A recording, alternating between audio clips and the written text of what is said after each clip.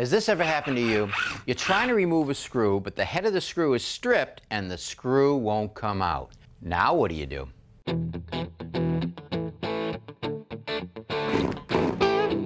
I usually start by switching to a manual screwdriver. That way, when I put it in the screw, I can actually feel if it's going to slip or grip. But if that doesn't work and the head of the screw is sticking up just a little bit above the surface, I can take my locking pliers, grip it on the edge of the screw, and turn it out. Another way to do it is use a tool made just for this job. It's actually a screw extractor, and it has two different tips. Now the first tip is a left-hand drill bit, which means it cuts when the drill is in reverse. I'll use it to drill a small hole in the center of the screw head.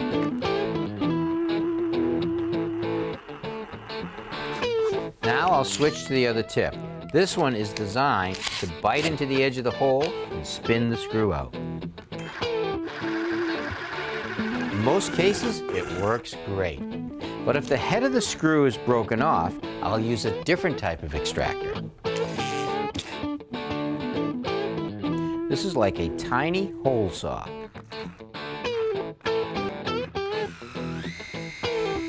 I'll core a hole around the shaft of the screw and it should pop right.